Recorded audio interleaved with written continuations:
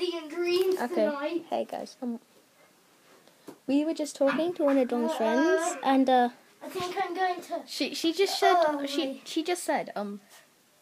She just said yes, because um, Uh, Dawn just asked if um I think I'm they wanted gonna be boyfriend and girlfriend, and she literally just said Oh, yes, and I was like, the, Okay. I was like, the, Don't now. I'm like, what is going on?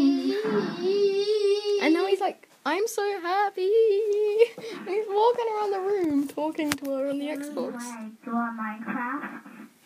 Um, okay. Well, I want to stay in touch with you. And now they're like because boyfriend I need to get an update.